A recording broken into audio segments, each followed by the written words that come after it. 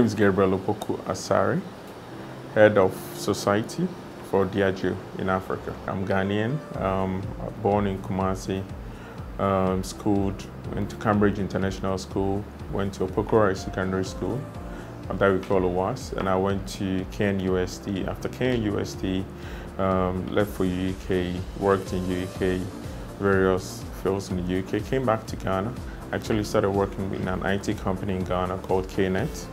So in KNet, my role was customer relations and project management, but we had a lot of government clients. And with that, it helped build my expertise around government engagements and government relations. And I left KNet and took a jump to join um, the group called Mohinani Group, which is probably the biggest plastic manufacturing firm in Ghana, and it's quite a big group. They own KFC, um, Atlantis, Hotel Intakrade, and a number of companies as well.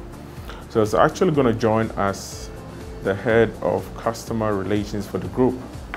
Then the opportunity came up as, um, do you want to join our, do you want to lead our corporate relations team based on your experience in the past? And I said, yeah, why not? So, so I took up the role as a group corporate affairs manager. And in that role, my job was to manage government relations, manage our sustainability, and manage internal communication. So we did some work around the Mohinani Foundation, and after working for them for a couple of years, left Mohinani and um, joined Unilever. Unilever was a great place to learn a lot um, when it comes to the corporate world and what you do around sustainability, communications, and employee engagement. So Unilever, I spent two years in Unilever leading the Ghana team. We delivered some great, um, I would say, projects in Unilever um, help the business to elevate its image and all of that in Ghana. And Guinness came knocking, that is Diageo, subsidiary in Ghana is Guinness Ghana, came knocking and the role was Corporate Relations Director for Ghana. That was a great role, so I said, um, why not join Guinness Ghana? And I joined Guinness Ghana, which was a little different from Unilever, though they are both FMCGs joined Guinness Ghana as the Corporate Relations Director, and in my role was leading communications, sustainability, and also um, public policy. Um, as you know, our sector is um, is very heavy on public policy, unlike other corporate relations roles. So it involves a lot of government relations, involves a lot of sustainability, and also even employee engagement as well. In three years in the role as Corporate Relations Director of Ghana, like I said, we deliver some great um, work. And some have been seen as one of the best across um, Diageo globally and also in Africa as well. That led me into my new role as head of society for Diageo in Africa.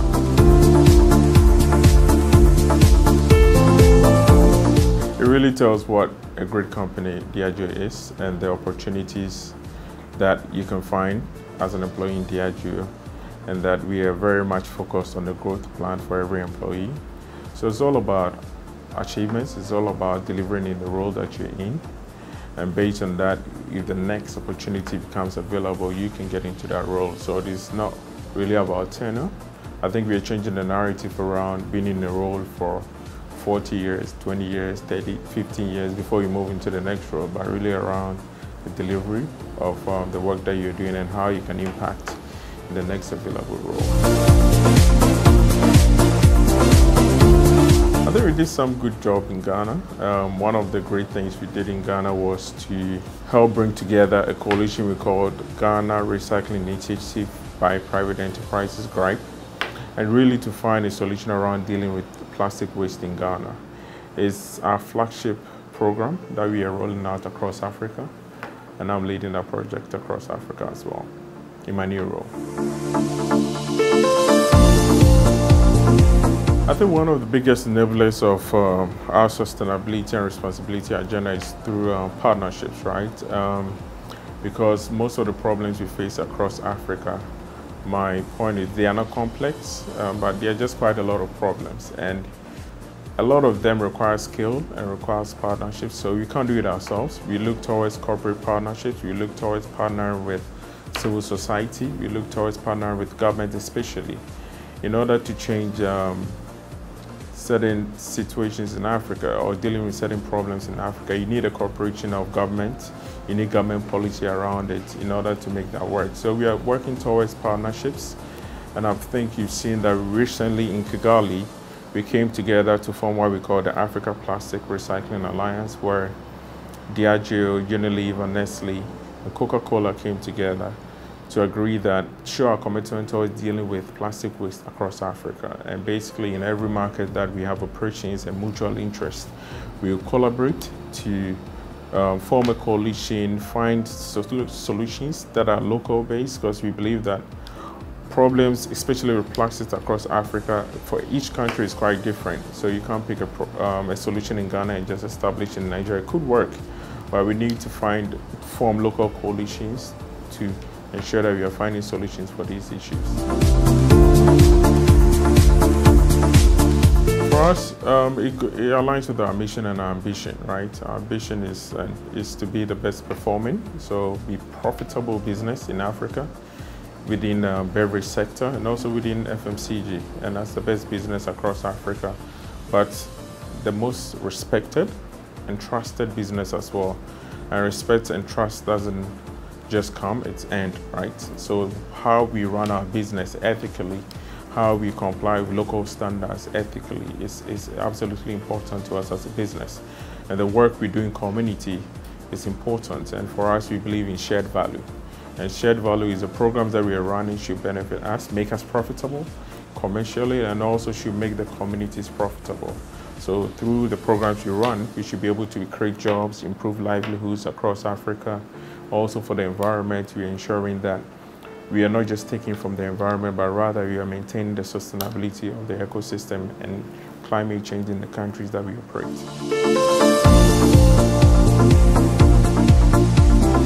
I think we're doing quite some uh, good work over the years. It's been more than 20 years um, if you look at water, right?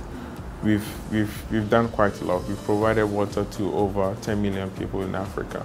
In Ghana, as an example, we've reached around 700,000 people with water. We've um, built around 70 water, we call it water of life stations across Ghana. If you go to countries like Kenya, we are investing in afforestation projects where even if we go out with our employees to plant trees around river bodies, we do the same across almost all our markets in Africa as well. So we believe that water sustainability is critical for every market that we operate. If you look at local raw material, we are sourcing locally, right? And it involves a lot of work in sourcing locally. And with that, we are ensuring the sustainability of agriculture in markets that we operate. We are creating jobs in agriculture. People are getting employed. We did a study a couple of years ago and realized that we are working with 25,000 farmers in Ghana, um, supporting the lives of around 175,000 people in Ghana, and that is, that is a massive achievement.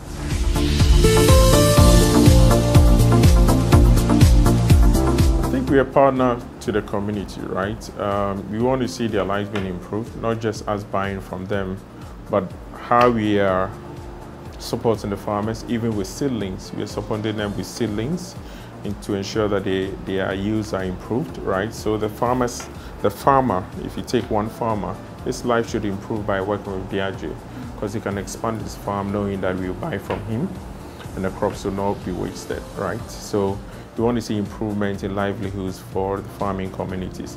It's not just even um, with the farming itself. What we do is we organize training for women in these communities. So women empowerment, financial inclusion is all critical for these communities as well. So we want to see a shift in terms of livelihoods. We want to see a shift in terms of women empowerment and gender equality in these communities as well. And it all aligns to the SDGs, right? Absolutely.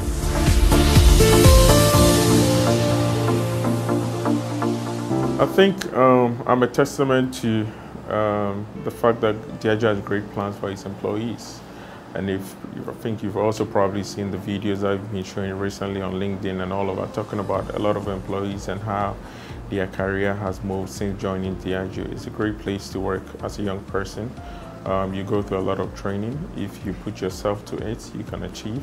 And Diageo has great plans. It's a big multinational organization. Apart from roles in Ghana, just like me, you can get into a role in Africa, you can get into a global role.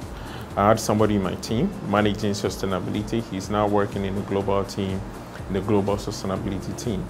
So Diageo has great ambitions for young people, and if you're a young guy out there, I'll say join us, and um, you never regret it.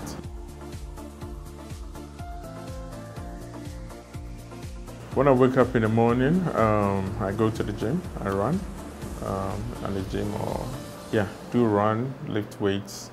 I usually listen to the radio before getting to work. Getting to work, first thing is I always have a to-do list and I look through that before I start anything. Look at what I need to deliver for the day. I'm a sucker for planning, so I plan everything from end to end. So before I wake up in the morning, I actually have a view of what I'm going to do throughout the day and I follow that list.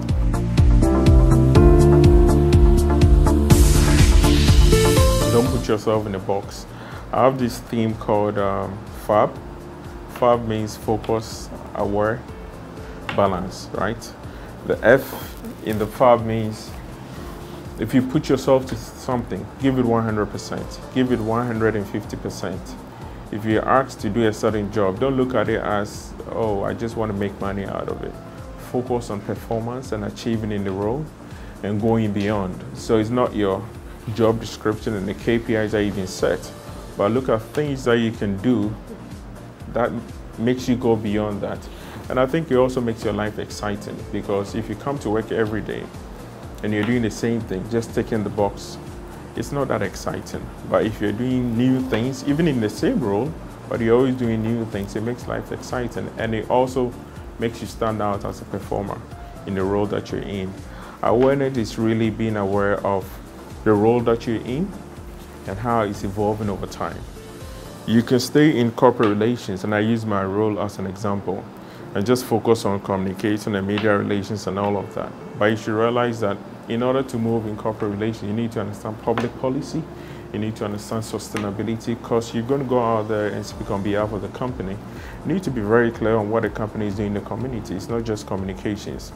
You need to be aware of what the external environment looks like, what government policy is in there. So that awareness is critical. You also should be able to tell five years from now, is my role even going to exist in the corporate world? It may not exist. So you also need to be aware of how your current role is evolving and how you move on into the next role. I've been in roles where I've picked up work that naturally will not, anybody in the role will not focus on because they think it's extra work. But really, those type of jobs really gives you leverage with regards to senior leaders. They see you as valuable to the business.